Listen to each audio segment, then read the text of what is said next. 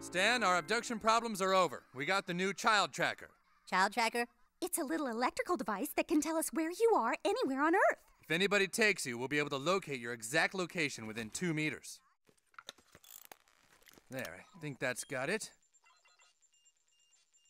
Dude, no way. I'm not wearing child tracker. You can barely even tell you have one on. I'm not going to school like this. What will all the other guys say? I wouldn't worry about that.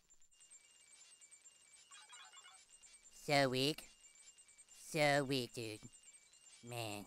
Why did you have to go and be abducted, Tweek? Now all our parents are freaking out. I didn't mean to.